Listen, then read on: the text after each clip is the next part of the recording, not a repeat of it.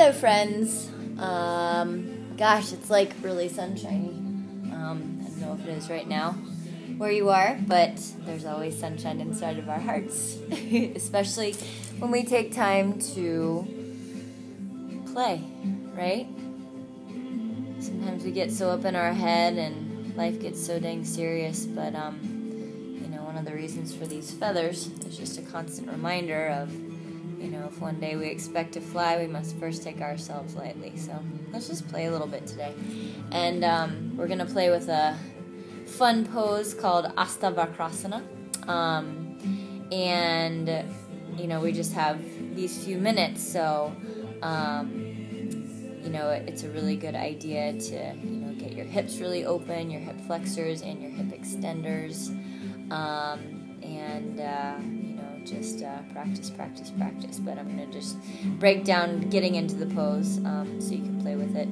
Um, you know, incorporate that into other flows as well. So it's a good party trick too, but I didn't tell you that.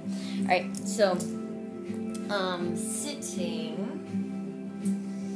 Start with your legs in front of you. Oh, sorry. Hope they're not too dirty. it's not festival season yet. Just wait. Um, so we're going to start bending our right knee. I'm mirroring you guys.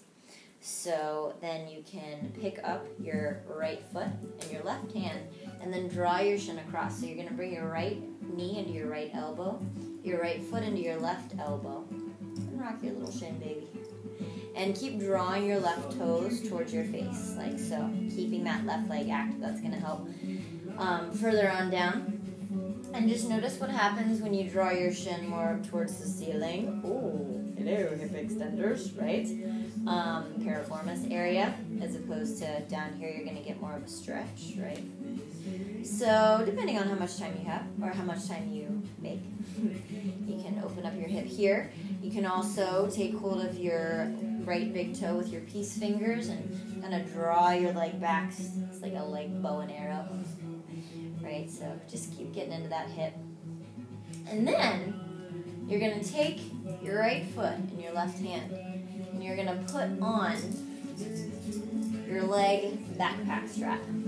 So you're to bring your knee over your shoulder, right? Not over your head.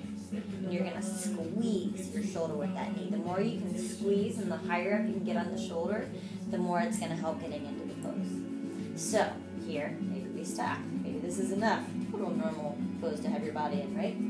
Maybe bring that uh, right hand out to the side, okay, hanging out here. Keep drawing your left toes in. So if you're here, perhaps then squeeze that right shoulder with your right knee, pressing into your hands. Maybe start to lift, right? And then from here, you can hook your ankles, and it actually gets a little bit easier when you get to this part. And then if your ankles are hooked, then finding chaturanga arms, maybe start to straighten out your legs to the side.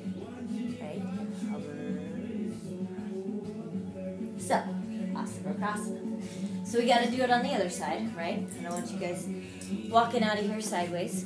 So again, sitting up tall.